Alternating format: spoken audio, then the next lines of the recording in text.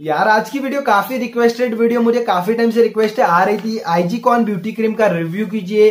Actually YouTube पर already बहुत से वीडियो अवेलेबल है आईजी कॉन ब्यूटी क्रीम पर। लेकिन उन वीडियोस में यह बताया गया कि अगर आप इस क्रीम को 20 से 25 डेज़ यूज़ करते हो तो आपकी स्किन को वाइट ब्राइट ग्लोइंग बनाने के साथ जितने भी आपको पिगमेंटेशन की प्रॉब्लम हो डार्क स्पॉट्स की प्रॉब्लम उनको रिड्यूस करती है। तो एक्चुअल में क्या है इसकी क्रीम की सच्चाई?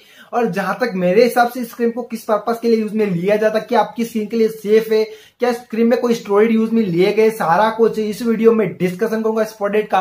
वन के साथ वन रिव्यू दूँगा तो इस वीडियो के साथ आपको इन तक बने रहना है। और वीडियो को स्टार्ट करने से पहले एक ही रिक्वेस्ट है दोस्तों, अगर आप चैनल पर पहली बार है तो चैनल को सब्सक्राइब करने के साथ बैल आइकन को जो प्रेस कर लीजिएगा, जिससे कि हमारे आने वाले वीडियो के नोटिफिकेशन आपके पास सबसे पहले पहुँच जाएगी। तो दोस्तों, सबसे पहले मैं इंग्रेडिएंट्स की बात करूँ तो इंग्रेडिएंट्स के तौर पर आईजी कॉन ब्यूटी क्रीम इंग्रेडिएंट्स जो यूज़ किया, वो hydroquinone plus tretinoin plus mometasone furoate अब दोस्तों, आपको पता होना चाहिए हाइड्रोकिनोन एक प्रकार का स्ट्रॉइड होता है, जो कि आपकी स्किन के सेफ़ नहीं होता है।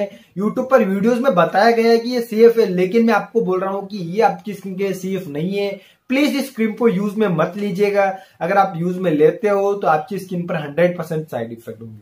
साइड इफ़ेक्ट के तौर पर आपकी स्किन बहुत डल हो चुकी है, आपके फेस पर एक्ने पिंपल्स की प्रॉब्लम हो सकती है डार्क स्पॉट्स और रेडनेस की प्रॉब्लम हो सकती है। मैं प्लीज़ आपसे रिक्वेस्ट करूँगा और आपकी आपको स्किन पर स्किन कैंसर जैसे भी प्रॉब्लम हो सकती है। तो मैं आपसे रिक्वेस्ट करूँगा कि ऐसी क्रीम को यूज़ ना करें। प्लीज़ ये प्रकार की मेडिकेट क्रीम है और इसको यूज़ करना चाहते हैं तो भी पिगमेंटेशन के लिए डार्क स्पॉट्स के लिए स्पेशली फॉर डॉक्टर्स के डिस्कशन के बाद ही इस क्रीम को यूज़ में लीजिएगा।